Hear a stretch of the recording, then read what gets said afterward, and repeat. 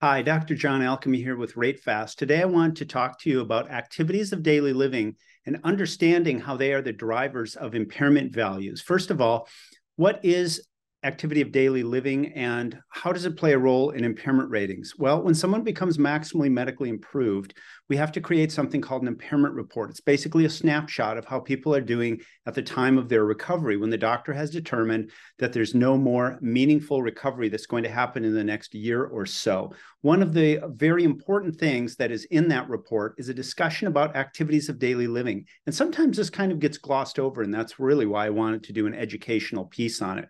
So in the AMA guides on page four, there's um, a table, table 1 2, and on it, there's 34 activities of daily living. And these are considered comprehensive for um, uh, people who are basically living their lives. Now, what's important to remember about the activities of daily living is that they are indeed activities of daily living, they are not activities of work. And it's very important in your mind that when you're thinking about activities of daily living, you're not thinking about work, which is a little bit confusing because the AMA guides are used to determine settlement values for workers' compensation. That being said, one of the reasons that we use activities of daily living is because it's a commonly shared activity between all people, regardless of their occupations.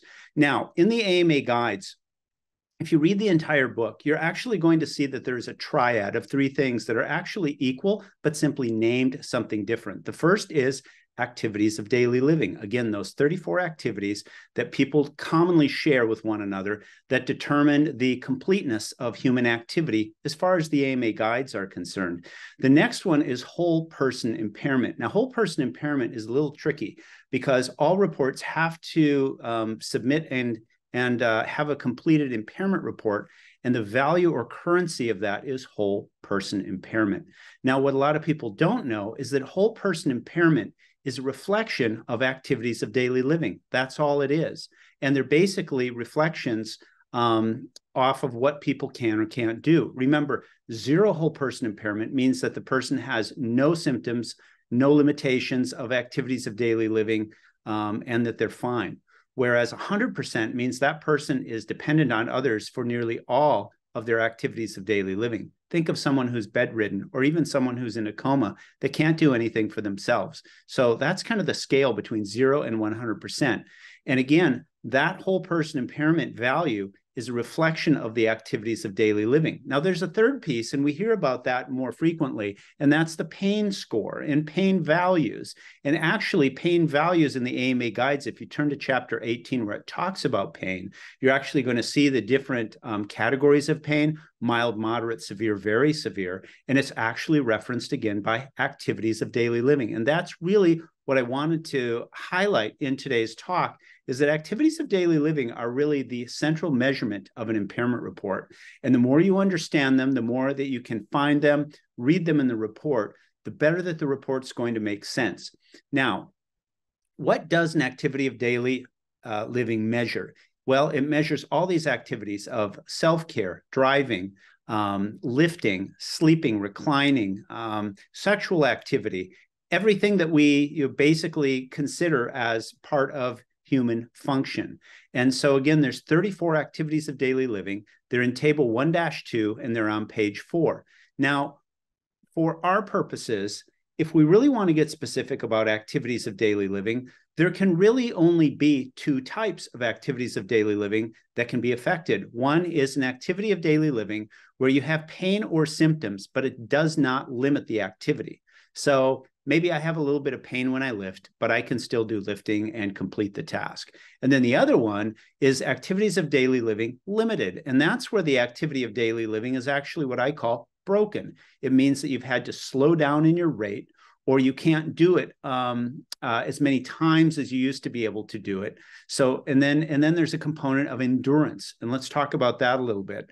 Um, I always use this example that before I got hurt with my knee, um, I could walk three miles an hour for two hours. Um, after I hurt my knee, I can still walk two hours, but I can only walk for one mile per hour.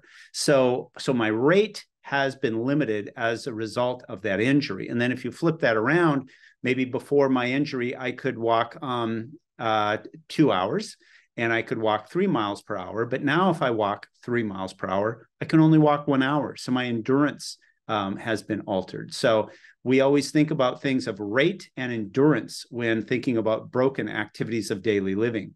And that's very important because when the author of the report is referencing activities of daily living, remember, they're actually describing the impairment of the report. And what happens often in the AMA guides is sometimes um, a specific table will give you a fixed value for impairment. Like um, I can raise my shoulder to 170 degrees. Well, that's one person, uh, 1% of whole person impairment. Fine. But sometimes um, there are things like class, class range. Um, we see this a lot in like lumbar spine, for example, in the DRE tables. And in those tables, um, there's sometimes a range like between 10 and 13, whole person impairment. And the real question is, how does the doctor pick that value between 10 and 13? Well, they go back to their activities of daily living and they figure out how many activities of daily living the low back has affected. And once you know that, then you can place them at 10, 11, 12, or 13. So, um, and the AMA guides is also very clear at the beginning of the book. It says that the activities of daily living are used to class an individual um, when there is um, a range for the doctor to determine. So, just to kind of sum it up again, activities of daily living really the central driver of impairment rating in the AMA guides. And it's on a table in the fifth edition on page four. It's table 1 2. And remember, that basically categorizes all of the activities of daily living of being an individual, and it basically class matches everyone with one another um, to stabilize and level the field of impairment rating when we're looking at impact from an injury. So I hope this has helped you. I want you to think about activities of daily living. We'll look forward to seeing you at the next session. Thanks again.